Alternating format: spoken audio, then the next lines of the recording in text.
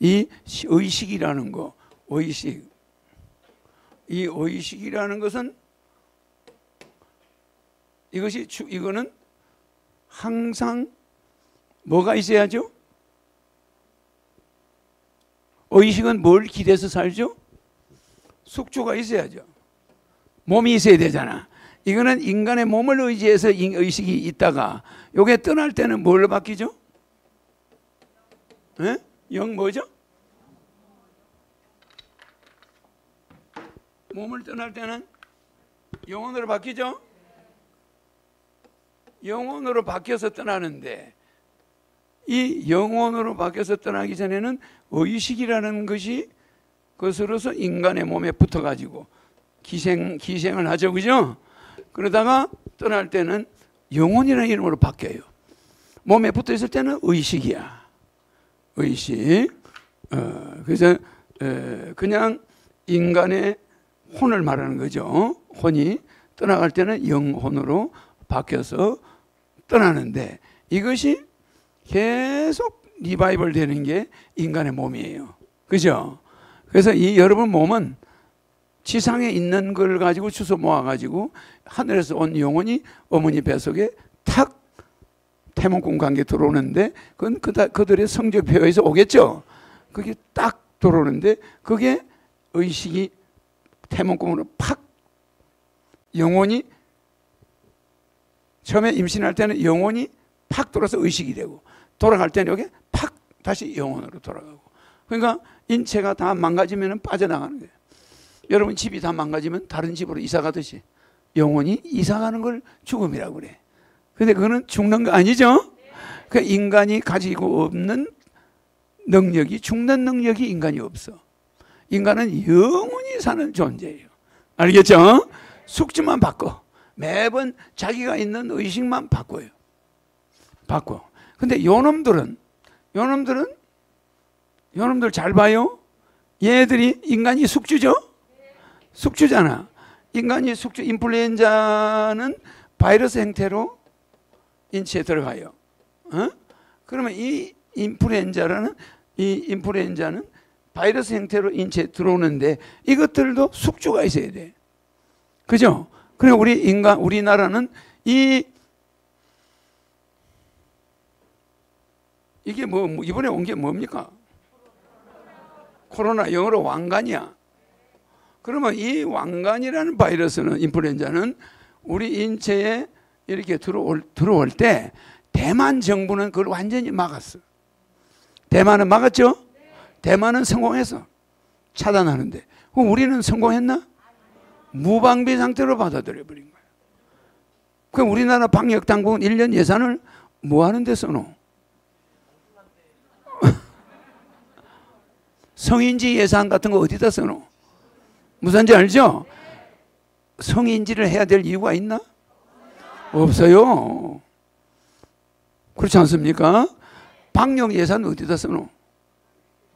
그래 안 그래요? 그러니까 그 사람들이 미국에 그게 중국에서 그게 났다고 그럴 때 거기에 대한 대비를 환자가 들어오고 나서부터 세우는 거예요. 맞아, 맞아. 그게 됩니까?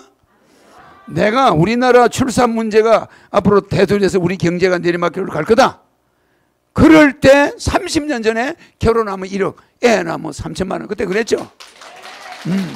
그러니까 이미 저출산이 저출산 고령화가 세계적 문제로 우리나라가 세계 1위가 될 걸 알고 30년 전부터 그걸 예방한 거야.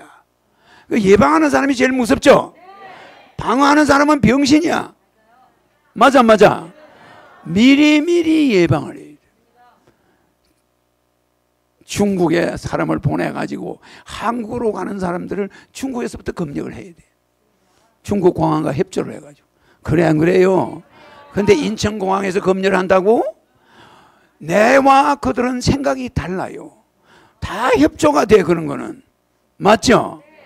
거기에서부터 체크. 알겠죠?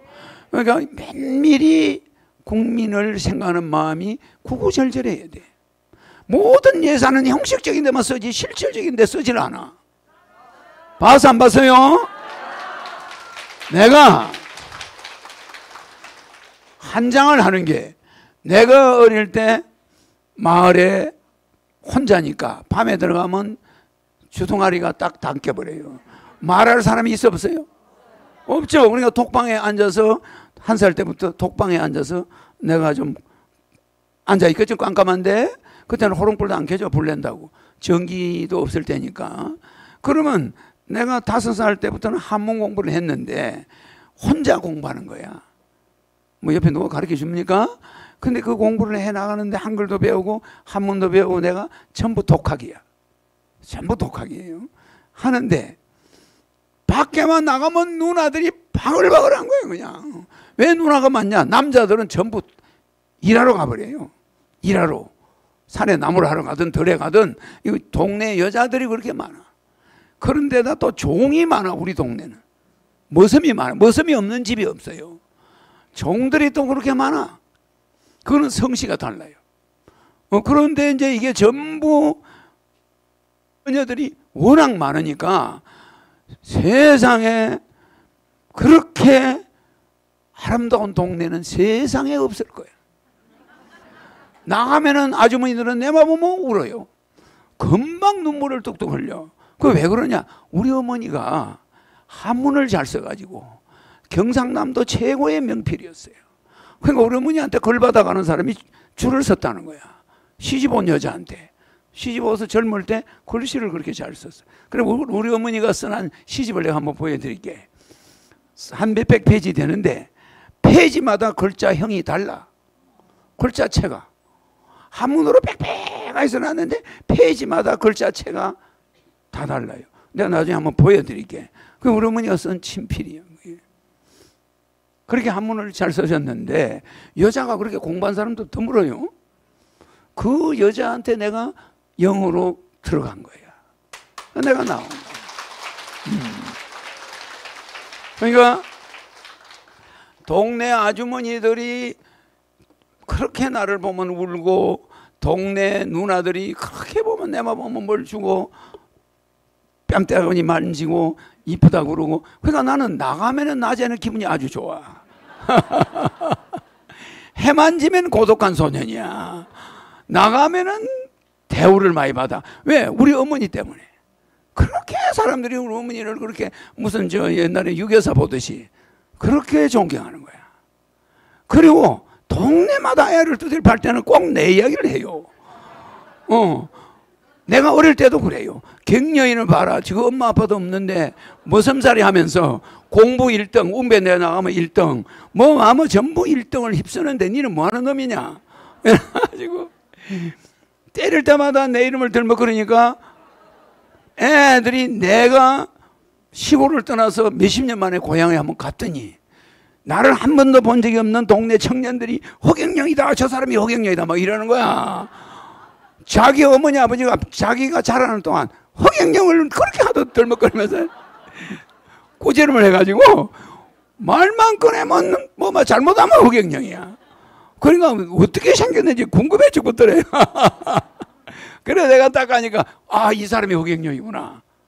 아이 뭐그 집안이니까 형님이라고 그러겠죠. 뭐 형님 아저씨인데 아이 호경영 우리가 실물을 직접 보니까 우리 엄마가 왜 그랬는지 모르겠다고 이제 그래 내가 지금은 거의 없어졌지만 한 10년 전까지도 동네 젊은이들이 내 이야기를 듣고 자랐대. 알겠죠? 그렇게 동네 사람들이 꾸지람할 때는 내가 하나의 표본이었어, 표본. 그래가지고 이 아주머니, 누나, 어머니들이 나를 그렇게 잘해주니까 내가 혼자 잘하는데도 명랑해, 안 해? 명랑하죠? 그늘이 없어. 그냥 내가 보면 뭘 주고, 막 만져주고, 뺨, 뺨탕오지 만지고, 자기 아들 입던 옷도 갖다 주고, 신발도 갖다 주고, 그러잖아. 그러니까 나는 너무너무 그냥 돈에서 사랑을 받았어. 알겠죠? 집에는 사랑을 못 받는데 밖에만 나오면 사랑을 받는 거야. 그래서 지금 인구 문제가 심각한 때 나는 항상 옛날에 우리 동네가 생각이 나. 그때가 낙원이야. 알겠죠? 그때는 그냥 법 없이도 살았어. 어, 근데 지금 이게 오고 나서부터 길거리 사람이 없더라고. 그죠? 그 사람이 없어서 이렇게 보니까 참 무상해. 그래서 허경영 우주에너지 제품은 역시 본자